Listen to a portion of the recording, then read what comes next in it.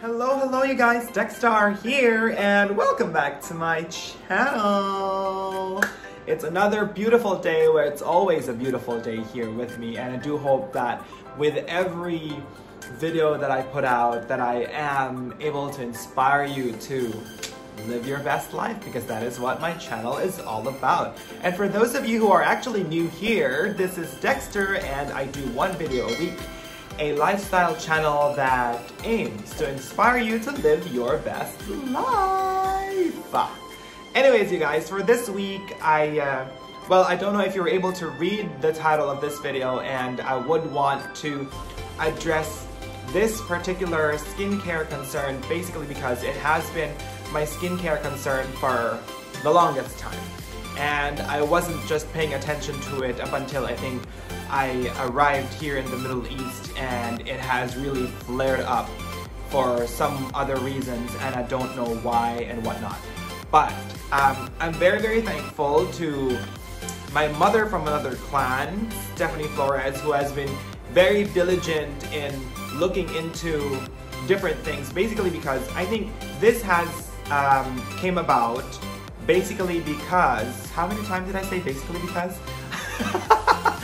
This actually came about because I think um, Steph was looking for solutions online for her dark spots. She has dark spots on her face and she has been looking for uh, solutions for the dark spots. And I think it's with that particular search that a lot of information came in and um, I have been talking to her about my concern, which is keratosis pilaris. It sounds very scientific, which I know is a little difficult to understand, especially for me as a com like a person who's not into all these things, but I have to. We all have to learn. so this is what it is. Um, this has been my, I mean, when I was in the Philippines, it was not this much. There were quite a few blotches, but not this much. And then when I came to the Middle East, this really flared up quite so much and I don't know how to handle it anymore and I've been trying ever since, even in the Philippines, I've been trying to like um, exfoliate, exfoliate, exfoliate, do body scrubs, um, milk baths and all that stuff and nothing really was improving that time. So I had that concern already and then after when I came here it really got gotten worse. So um, thankfully, again, Steph, thank you so much for discovering this, that this is called keratosis pilaris. Basically what it is is what is commonly called as chicken skin. Like for us, for, for other common people who doesn't deal much with the scientific terms, this is what we call chicken skin. And you know, if you if you like rub your uh, hand down your arm, you feel like there are really small bits of bumps that is very unpleasant. And um, as per the videos that, or information that we have gathered, um, keratosis pilaris is actually a genetic skin disorder, which means, oh my god, I have a disorder. Anyways, I was just kidding. Um, well, yes, it is a skin genetic disorder, which means that it cannot be, I know, as how I understood it, that means that it cannot be treated, but we can um, uh, what do you call that? We can have lessen lessen things and at least smoothen out your skin and not have all those bumps.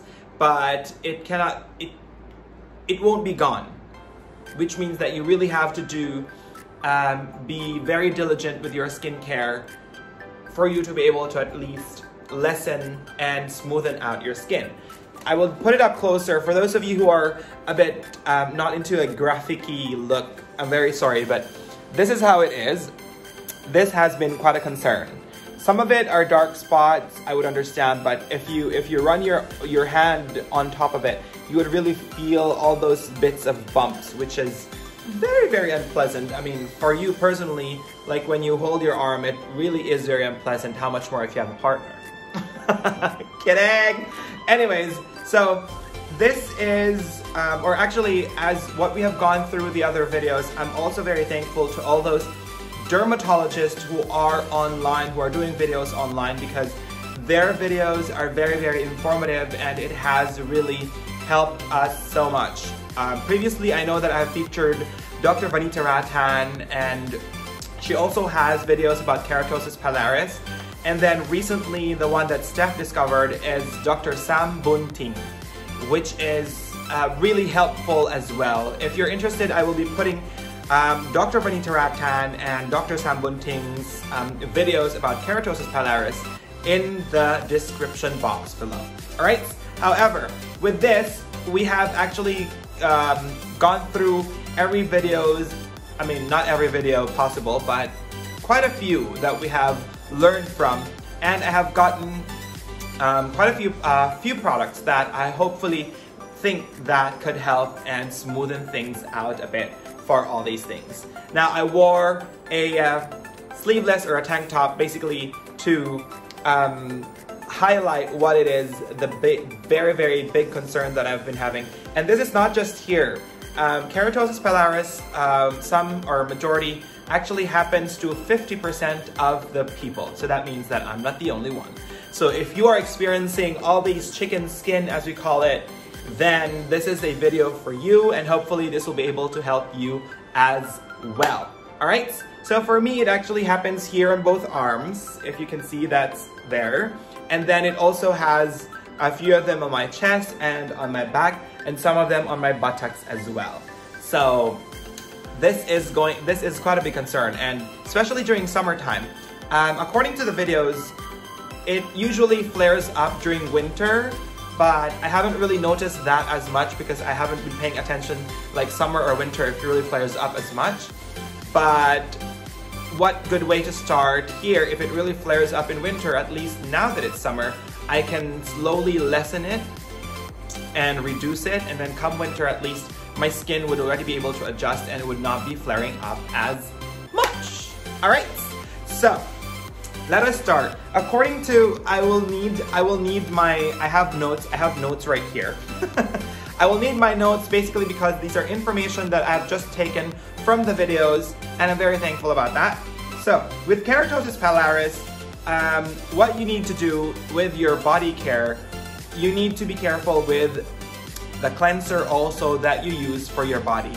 And um, with this, you actually should have cleansers for your body that are um, no, with no fragrance, and then it also should be non-foaming, and then lastly, it should not be um, ones that are very abrasive to your uh, what do you call this? To your skin. Basically because if you see there there are like redness and all that and if you continuously rub it even if you're with the lightest um, scrub it would still have those redness and it would worsen that.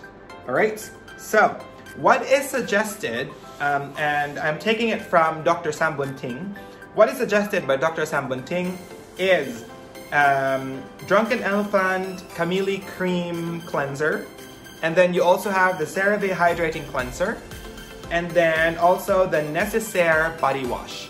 And what I was able to get is the Hydrating Cleanser from CeraVe. This is how it is. It is a facial cleanser, which is very good because basically this is what I use now for my face as well. Both face and body as my cleanser. So it is, as what is here, this is for normal to dry skin, cleanses, hydrates, and helps restore protective skin barriers with three essential ceramides and hyaluronic acid. I know that sounds very scientific, but let's just trust science for now. so that is um, that is my current cleanser that I'm using to also help treat my keratosis pilaris. So this is both for my face and body. I don't, luckily, I'm very thankful that I don't have keratosis pilaris on my face because sometimes it would have here, it would happen here and also some parts on to near your eyebrows. And I'm very thankful that I don't have it. I only have it on my arm, my back, my chest, and my buttocks, which is a little bit of a consolation for me so I can just wear, if you notice, I usually wear t-shirts and all that. I'm not usually wearing sleevelesses because of this concern. so that is my cleanser. And then, secondly, what was advised is actually for the treatment part, you actually have to use active ingredients. You can have hyalur um, alpha hydroxy acid, you can have salicylic acid, you can have urea, and also retinoids. Now, all those are very scientific terms, I understand, but um, there are other brands that are recommended, um, brand recommended by Dr. Sam Bunting, which is for alpha hydroxy acid, you can use Ameliorate Transforming Body Lotion.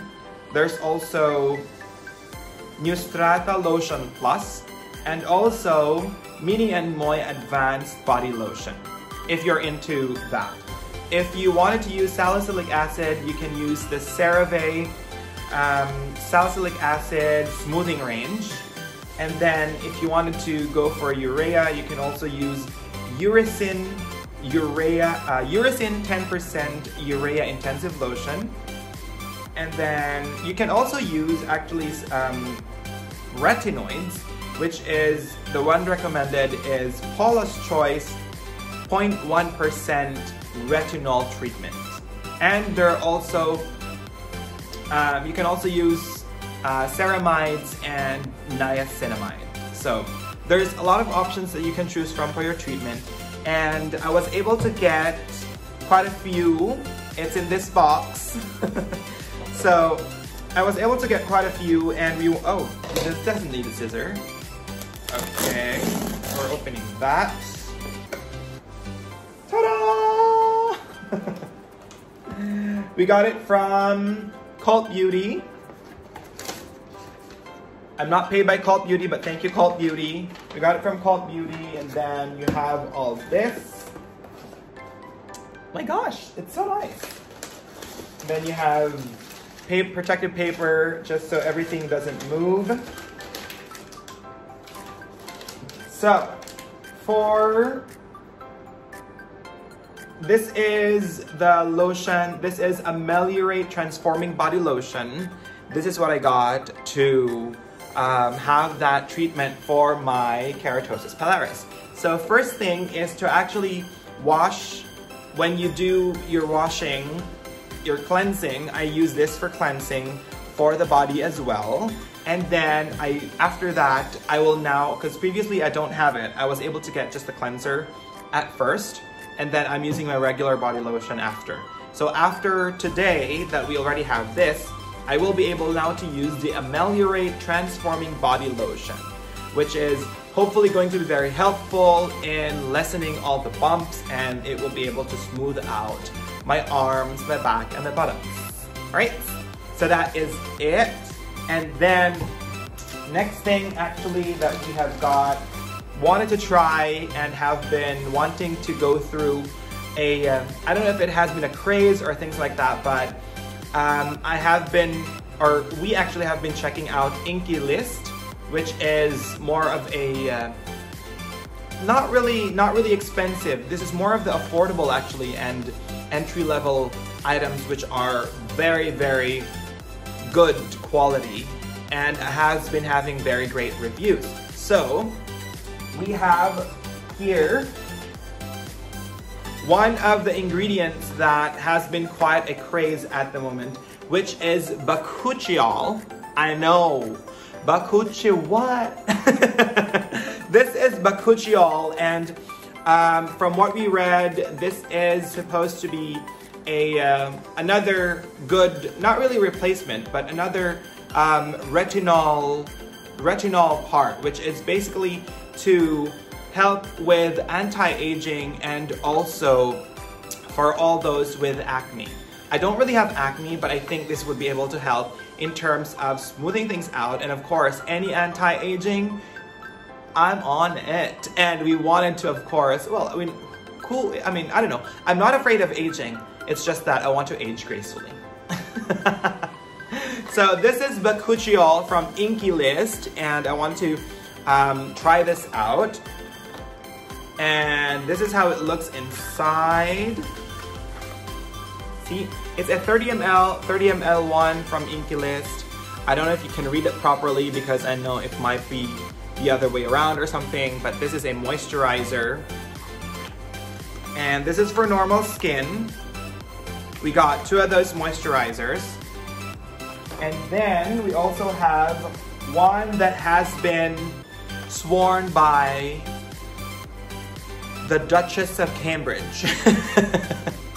this is rose hip oil and this has actually been getting also quite a rave, especially of course because it's being used by the Duchess of Cambridge. And if it is good for her, it will be good for us. well, of course, as I would always be giving you as a disclaimer, all of these are personally purchased. None of these are sponsored. And well, we will be thankful if Inkey List would be sponsoring. but with this, this is all, this is a moisturizer as well in the rose hip oil. And this is how it looks inside. This is how it looks. All right. So with this, hoping that, of course, it would also be part of my anti-aging routine. okay, but last but definitely not the least is this um, Suchini Su ah? Succinic. There it is. Succinic. I don't know how it's really pronounced. It's really that. I might be butchering quite a lot of it, but that is that. And this is for blemish prone skin. And this is like a, this is also from Inkey List. And this is like a treatment. I'm you I will be using it as a treatment, like a spot treatment. Like if you have like a coming pimple or things like that, you can just take a bit of it and then just dab it onto that pimple and it would really reduce everything and reduce redness as well. So that is, I don't know how it's pronounced, but that is how it is.